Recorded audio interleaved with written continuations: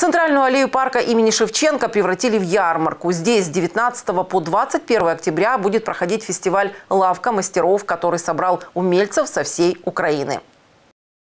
Лавка мастеров очень молодое, но уже очень полюбившееся многим мастерам и одесситам мероприятие. На сегодняшний день это уже четвертый фестиваль. На ярмарке народные умельцы демонстрируют результаты своего творчества. Вот, например, Дмитрий демонстрирует свои работы из материала нового поколения. Эти рюкзаки сшиты э, нами из э, материала нового поколения. Он называется тайвек. Он очень похож на бумагу, но при этом он очень прочный. Э, его невозможно порвать, его невозможно промочить. Он гораздо практичнее, чем кожа. Э, весит такой рюкзак ровно столько, сколько в него положишь. Еще на выставке представлены необычные игры для взрослых под названием «Фитнес для мозга». На первый взгляд простая и в то же время сложная вещь. Как заявляют производители, такие головоломки развивают логическое и пространственное мышление, а также стимулируют стимулирует концентрацию внимания. Это игры для взрослых. Это IQ-пазлы. Их придумали э, не у нас, а в Молдавии. Несмотря на стереотипы, как бы ребята молодцы. Вот. Очень простые задания. Вам нужно из четырех э, деталей собрать прямоугольник. И как показывает практика, люди, поверьте, и с разным образованием два высших у кого-то есть, и математики.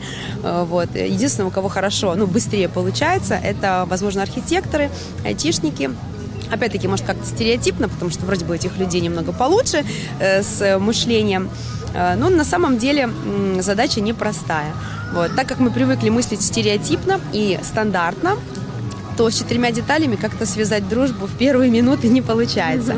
Присоединились к выставке и любители хищных растений. И хоть предмет их увлечения не имеет отношения к хендмейду, зато пользуется популярностью у детей и взрослых. Еще на ярмарке можно будет приобрести домашнюю выпечку, консервацию, сыры, а также домашние наливки, вина и медовухи. Вот это все чисто медовые напитки, сделано из меда, готовится более двух лет. А вот эти напитки это уже с добавлением меда. Ну, это приблизительно, скажем, как медовое вино, а это уже как более наливочки. Есть лимончелло, есть из облепихи, из калины. И из меда тоже, соответственно, есть разный мед. Мастера очень любят подобные мероприятия и благодарны организаторам за такую возможность. Когда сидишь просто дома работаешь, это одно. А здесь есть возможность увидеть, что дети хотят, что взрослым подходит, когда меряют. И когда люди в восторге, ты сам восхищаешься, что, боже, неужели так хорошо человеку подходит. То есть не зря ты сидишь и трудишься. Выставка-ярмарка продлится до 21 октября. Здесь вы сможете найти все, что душа пожелает. От различных украшений, изделий из кожи, обуви и головных уборов до вышиванок и домашнего текстиля.